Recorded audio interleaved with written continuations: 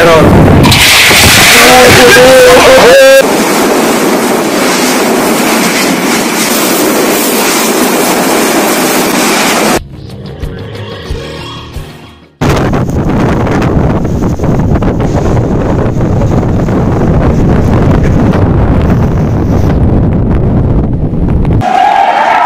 తీసుకోబడ చేశాడు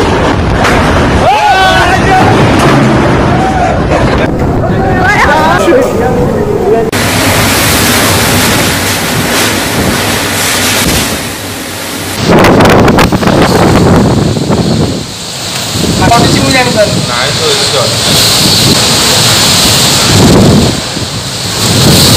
good. ବର୍ତ୍ତମାନ ବି ସହରରେ ଲ୍ୟାଣ୍ଡ କଲା ଆଉ ଆଉ